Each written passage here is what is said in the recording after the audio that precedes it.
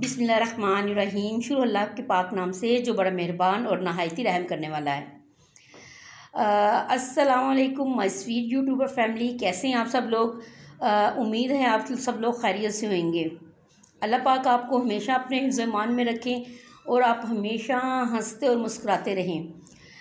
Viewers, हम आपके लिए दुआ गो हैं, आप हमारे लिए दुआ कीजिएगा। और अगर आप मेरे चैनल पे नए हैं तो प्लीज़ मेरे चैनल को सब्सक्राइब कर दें। मेरी वीडियो को लाइक कर दें, शेयर कर दें और बेल आइकन का बटन दबाना आपने तो बिल्कुल नहीं भूलना है। और मेरी वीडियो पे आपने अच्छा सा एक कमेंट्स भी पास करना है। आज हम बनाने जा रहे हैं कीमे के कोफ्ते। जिसके लिए मैंने कीमा लिया है वन के जी। और ये जो मैंने कीमा लिया है, बग़ैर यानी कि उसके ना खुशक कीमा मैंने लिया है ये। इसको मैंने अच्छी तरह धोकर और इसको मैंने पानी इसका सारा मैंने खुश्क कर लिया है। सबसे पहले हम कीमे को हम लोग तमाम इंग्रेडिएंट्स डाल के हम लोग इसका वो तैयार कर लेते हैं कीमे को। जिसमें हमारा इसमें जाएगा ये हरी चिली है, ये मैंने तकरीबन चार से पाँच अदद ली है और ये हमारा अदरक है। ये मैंने दो इंच का टुकड़ा लिया है। और पाँच से छः जवे मैंने जो लिए हैं, मैंने ये लहसुन के लिए हैं, ये एक अदर छोटा मैंने प्याज लिया है, क्योंकि प्याज ज़्यादा नहीं डालना, इससे जो है वो कोफ्ते जो है मीठे हो जाते हैं। और ये हमने हरा धनिया लिया है। और मसाले में जाएँगे, ये मैंने एक चम्मच मैंने गरम मसाला लिया है और एक चम्मच ही मैंने नमक का लिया है। और ये जो सूखा धनिया, ये भी मैंने एक चम्मच लिया है। और रेड चिली पाउडर है, ये भी हमने एक एक चम्मच जो है, वो मैंने लिया है। अब इसको मैं तमाम चीज़ों को मिक्स करके इसको मैं उसमें डाल के इसको मैं पीठी की रेडी कर लूँगी। ये मैंने एक किलो कीमा इसमें डाल दिया है, बाकी जितने ये जो गरम मसाले हैं, ये मैंने इसमें डाल दिए हैं। और ये जो हरा प्याज हरा धनिया मैं इसमें डाल रही हूँ और ये मैं प्याज इसमें ऐड कर रही हूँ और ये हरी मिर्चें, ये जो मैं इसमें ऐड कर रही हूँ और ये अब मैं इसमें लहसुन ऐड कर रही हूँ और ये अदरक इसमें मैं ऐड कर रही हूँ। और साथ ही हम इसमें एक अदद जो अंडा है वो इसमें मैं ऐड कर रही हूँ। बिस्मिल्लाह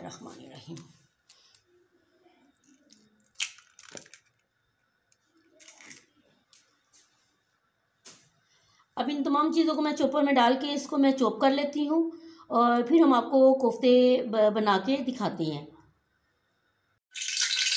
ये अब हम लोग कोफ्तों का ये मसाला मैं तैयार करने लगी हूँ। ये मैंने एक कप जो है ना, वो ये मैंने ऑयल का इसमें डाल दिया है। अब इसमें एक प्याली ये जो मैंने प्याज है, इसको मैंने ग्राइंड कर लिया है। ये मैं ऐड कर रही हूँ।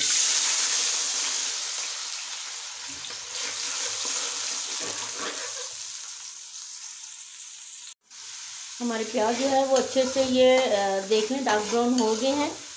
और अब इसमें हम लहसुन और अदरक का जो मैंने पेस्ट बनाया है, वो मैं ऐड कर देती हूँ। ये लहसुन और अदरक का पेस्ट है, इसको मैंने ग्राइंड कर लिया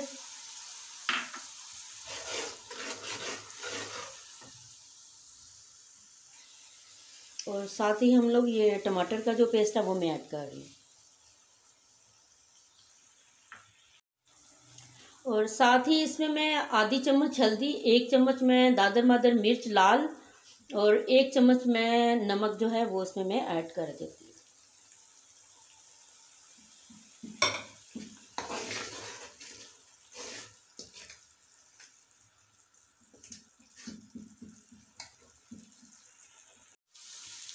अब एक चम्मच इसमें मैं सूखा धनिया जो है उसका मैंने ये इसको पहले इसको मैंने अच्छी तरह भूना है, भून करके और इसको मैंने अब मैं इसको पीस लिया है। अब ये इसमें मैं ऐड कर दूँ।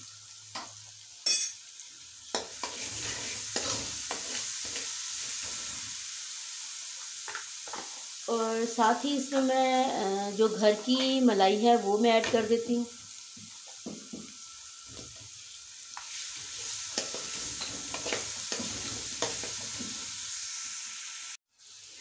ही अब मैं इसमें दो टुकड़े दालचीनी के और एक इलायची और बाजिया अख्ताई का एक छोटा सा फूल, वो भी मैं ऐड कर देती हूँ खुशबू के लिए।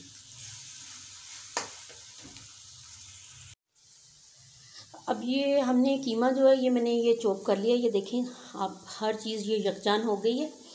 और अब इसमें मैं जो चने हैं, वाइट चने भुने हुए, वो मैंने इसमें ऐड करती हूँ। अब ये मैंने वाइट चने भून के ये भी मैंने इनको पीस लिया अच्छी तरह। ये मैं पहले डालना भूल गई थी चॉपर में।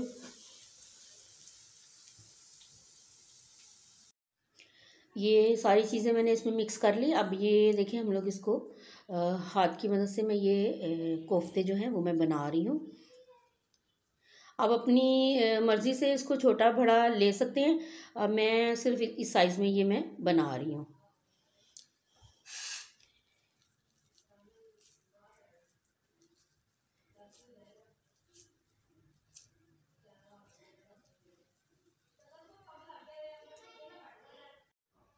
ये हमारे कोफ्ते ये बनकर तैयार हो गए। ये देखें, तकरीबन ये मैंने एक किलो मैंने ये कीमा लिया था। और इसमें हमारे तकरीबन बीस से पच्चीस कोफ्ते जो है, वो रेडी हुए हैं।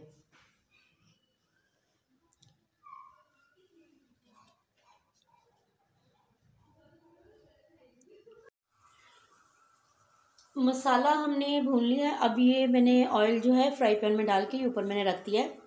अब मैं जो कोफ्ते हैं, उनको मैं फ्राई करती हूँ एक एक करके इसमें डालती हूँ। बिस्मिल्लाह रहमान रहीम।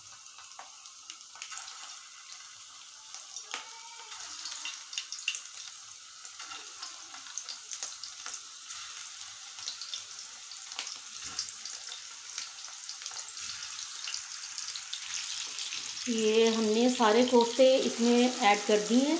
अब इसको मैं आहिस्ता आहिस्ता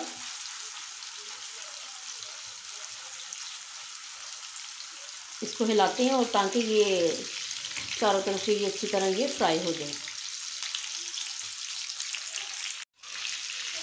ये हमारे कोफ्ते जो हैं, आप ये देख सकते हैं, अच्छी से ये फ्राई हो गए। हमने इसको ज़्यादा डार्क ब्राउन नहीं करना है। व्यूअर्स अगर आपने मेरे चैनल को सब्सक्राइब कर दिया है तो बहुत शुक्रिया आपका। और अगर आपने मेरे चैनल को अभी तक सब्सक्राइब नहीं किया है तो आप मेरे चैनल को सब्सक्राइब कर दें मेरी वीडियो को लाइक कर दें और शेयर कर दें। और बेल आइकन का बटन भी दबा दीजिएगा ताकि मैं मेरी जितनी अच्छी अच्छी रेसिपी जो मैं आपके साथ शेयर करती हूँ सबसे पहले आप उसको देख सकें। देखिए इसमें आपका कोई पैसा नहीं लगना सिर्फ़ आपने एक आ, अपना बटन ही दबाना है। तो ये आपका प्यार होता है हमारे लिए। हम लोग आपके लिए इतनी अच्छी अच्छी वीडियोस लेके आते हैं। और जब आप हमारी वीडियो को लाइक और हमारे चैनल को सब्सक्राइब करते हैं तो हमारी हौसला अफजाई होती है। चलिए व्यूअर्स अब हम लोग जो मसाला है, उसकी तरफ़ आते हैं और उसको अच्छी तरह भून करके और कोफ्ते हम उसमें ऐड करते हैं। ये मसाला अब हमने चूल्हे पे रख दिया है। ये देखिए मसाला वैसे भी मैंने काफ़ी देर से रखा हुआ था। ये अच्छी तरह हमारा मसाला भून भी गया है। आपने हल्की आँच पे इसको आपने भूनना है और इस, इसकी भुनाई अच्छी तरह करनी है आपने। अब इसमें मैं जो कोफ्ते फ्राई किए हैं वो मैं आहिस्ता आहिस्ता अब इसमें ऐड करती हूँ। रहीम। अब हमारी रेसिपी को स्किप किए बगैर देखें और जिस तरह हम लोग स्टेप बाय स्टेप हर चीज़ आपको तफसील से इसलिए बताते हैं कि जब आप रेसिपी बनाने लगे आप कोई चीज़ मिस ना करें। और जब आप रेसिपी बनाते हैं और आपकी रेसिपी अच्छी नहीं बनती, आप लोग हमारी वीडियो को स्किप करके देखते हैं तो इसलिए आपसे वो चीज़ें रह जाती हैं।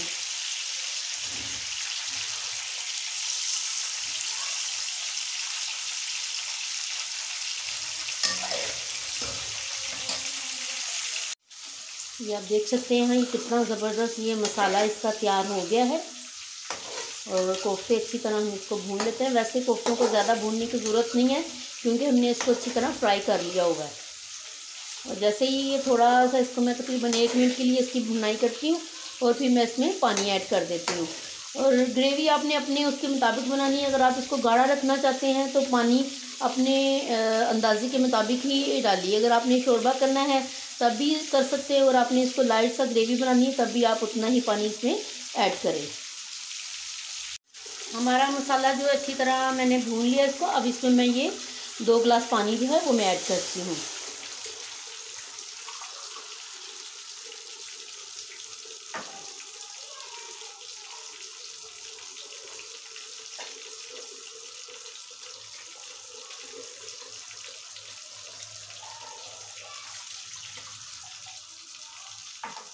मैंने इसमें दो ग्लास पानी ऐड कर दिया है।